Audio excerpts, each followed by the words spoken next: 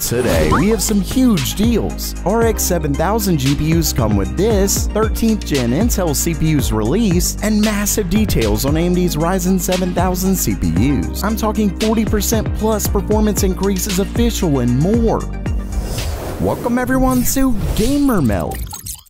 First up for today, Newegg has officially kicked off their Memorial Day sale, and they've got some great deals on PC hardware. So I thought I'd go over a few of the bigger ones, and I'll have an affiliate link to the event down in the description below. It doesn't cost you anything more, and it helps the channel out. Either way, first up, we have multiple deals up to a whopping 57% off of Rosewill PSUs. Next, there are quite a bit of deals on GPUs from most manufacturers, but they mostly get you to MSRP or just below.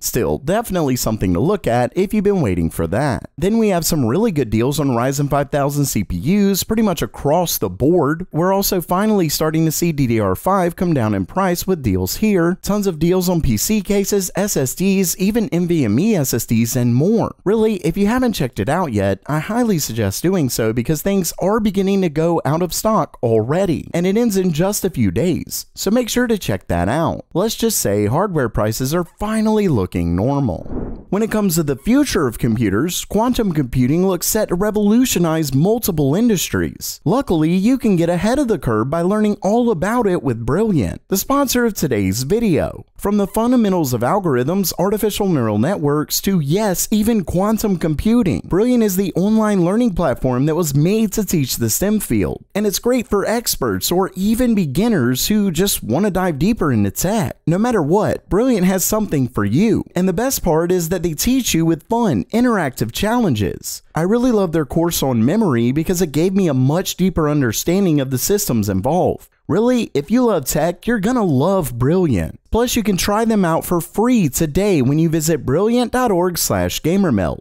And the first 200 of you who visit the link get 20% off when you use my link. Once again, that's brilliant.org/gamermeld. Next up for today, AMD's next gen RX 7000 GPUs look set to support something quite interesting. In a new patch on the Linux kernel found by Kepler on Twitter, we can see that it mentions the UHBR20 standard. Basically, what that means is that AMD's next gen GPUs are likely going to support DisplayPort 2.0, specifically the UHBR20 mode, which provides a whopping 80 gigabits per second bandwidth. So that's 48 gigabits per second more than DisplayPort 1.4a, and even 32 gigabits per second more than HDMI 2.1. That number would allow for uncompressed 10K or two 8K HDR screens at 120 Hz. As far as monitors that support the standard, they were originally set to come at the end of last year, but given the pandemic, the tech was delayed. Now that AMD's RX 7000 cards will likely support it, we should start to see monitors with the new standard before long. Fingers crossed. Next up, we have a huge leak on Intel's 13th gen Raptor Lake. The story comes from known leaker Enthusiastic Citizen on Bilibili, and according to him, Intel's upcoming Sapphire Rapid CPUs, which are set to be their next generation enthusiast lineup, think a successor to their Core X lineup in competition for AMD's Threadripper Pro, but they're called the W3400 and W2400. Either way, they're set to launch in October. Finally, he claims that Intel's 13th gen is set for release in October as well, along with the Z790 chipset. The H770 and B760 are then set for release in Q1 of next year. They won't be making the H710 though, instead opting to keep the H610 for the low-end market. Either way, Intel looks set to launch their follow-up to Alder Lake this year. Time will tell how it competes with Ryzen 7000. And lastly for today, I've got a ton of news on AMD's Ryzen 7000 CPUs. Some of it clarifies Computex and others blow it out of the water. For starters, AMD's own Frank Azor and Robert Hallock sat down with PC World to discuss the upcoming CPUs. And starting things off, if you remember in my coverage of the event, AMD demoed one of their next-gen CPUs. And during that, it actually showed the chip running at over 5.5 GHz. Well, during the interview, Robert Hallock actually explained that the CPU was running completely stopped, so no overclocking at all. Not only that, but it wasn't a single thread. In fact, he said most of the threads get to around 5.5 GHz, but it of course depends on the game. Now get this, it was a 16 core prototype, so we're talking 5.5 GHz across most of its 16 cores stock.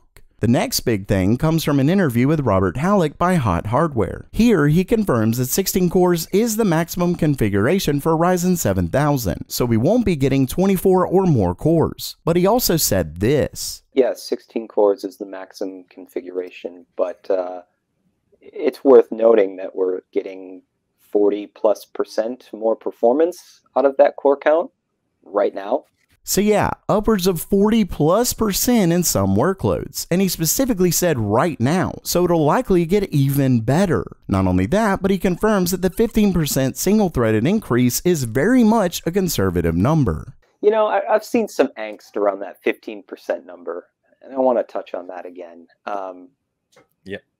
And, I, you know, I can't go too deep into it, but I, I want to say we were conservative on that number in like four or five unique and important ways.